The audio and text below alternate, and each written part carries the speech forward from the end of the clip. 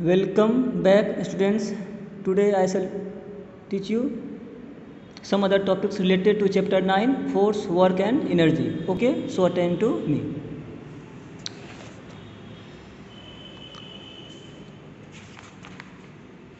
chapter nine से पहले आप एक क्वेश्चन जो है इसका चैप्टर एट का जो है देख लीजिए।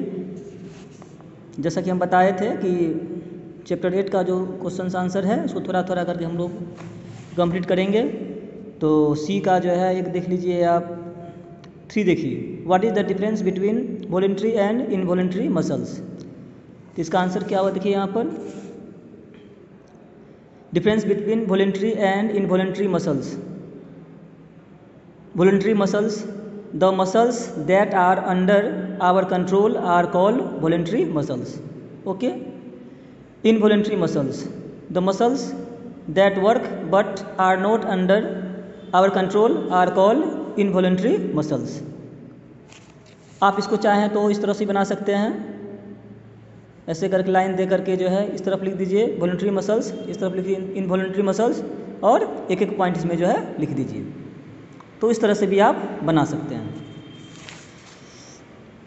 फिर इसका जो रिमेनिंग क्वेश्चन आंसर है, हम आपको बाद में बताएँगे, ठीक है? थोड़ा थोड़ा करके। अब इसमें आइए चैप्टर नाइन में देखिए।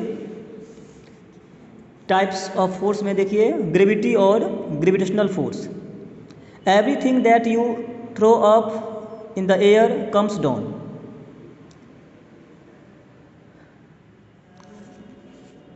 बच्चों, हम जो कुछ भी ऊपर फेंकते हैं, वो क्या होता है? नीचे चला आता है. यदि पेड़ में कोई फ्रूट्स है, मान लीजिए, पका हुआ जैसे मान लीजिए क्या कहते हैं मैंगो है तो वो भी क्या होता है? नीचे ही गिरता है। है ना? ऊपर नहीं उड़ जाता है। हम लोग जो है, कुछ सर्टेन हाइट से ऊपर जो है जंप नहीं कर सकते हैं। क्यों? क्या कारण है? तो आवर अर्थ एग्जॉर्ट से फोर्स ऑन एवरी ऑब्जेक्ट हमारी पृथ्वी जो है, वो प्रत्येक ऑब्जेक्ट पर जो है, वो फोर्स एग्जर्ट करती है। That attracts objects towards the centre of its surface और जो भी ऑब्जेक्ट है, उसको पृथ्वी जो अपने सेंटर की अपने सेंटर की तरफ़ क्या करती है तो अट्रैक्ट करती है। कोई भी जो ऑब्जेक्ट है, उसे पृथ्वी क्या करती है? अपने सेंटर तरफ़ जो है अट्रैक्ट करती है।